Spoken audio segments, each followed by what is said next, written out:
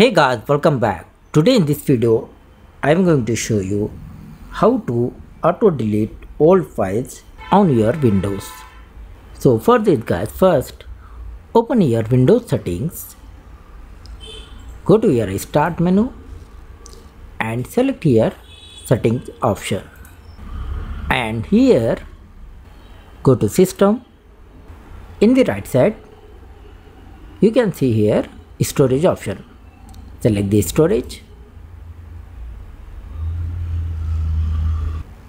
and the next you will see here storage sense.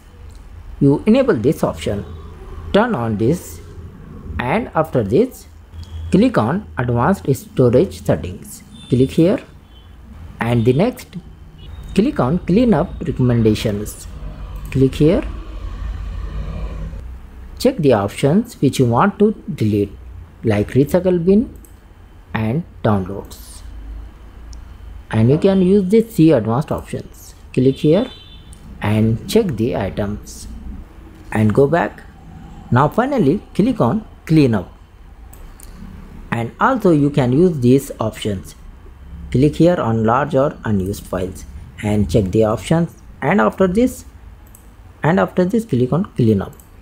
And the next files sync to the cloud you can use this and unused apps.